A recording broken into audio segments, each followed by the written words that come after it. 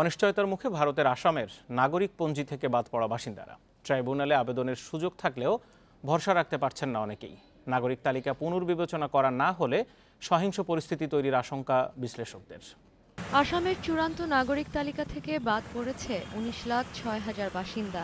পঞ্চাশের দশক থেকে বসবাস করলেও তালিকা থেকে বাদ পড়েছেন ভোজপুরি ভাষাভাষী পনেরো হাজার মানুষ। এর মধ্যে কেবল উড়ালগুড়ি জেলাতেই বাদ পড়েছে চার হাজার। এখন আমাকে আইনি প্রক্রিয়ার মধ্য দিয়ে যেতে হবে।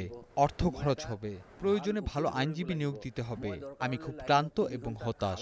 তবে আমার নাম চূড়ান্ত তালিকায় না থাকায় আমি আতঙ্কিত নই কারণ আমি জানি আমি আসলেই ভারতীয় নাগরিক। নাগরিকত্ব ফিরে পেতে আবেদনের সুযোগ পাবেন এরা।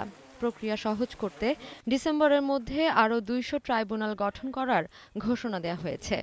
এরপরও আশ্বস্ত হতে পারছেন না অনেকেই। আমার ভাই বোন এমনকি আমার মেয়ের নাম এনআরসির তালিকায় আছে।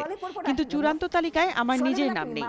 আমার ভাই বোন আমার জমা দেয়া নথি নিয়ে ভারতীয় নাগরিকত্ব প্রমাণ করেছে। আমার মেয়েও প্রমাণ করতে পেরেছে কিন্তু আমারটা প্রমাণ হয়নি। আমার নাম পর্যন্তও নেই তালিকায়। এটা হয়রানি ছাড়া আর কিছুই না। বাদ পড়াদের নিজেদের রাষ্ট্রহীন ভাবার সুযোগ নেই বলে আশ্বাস দিয়েছে সরকার।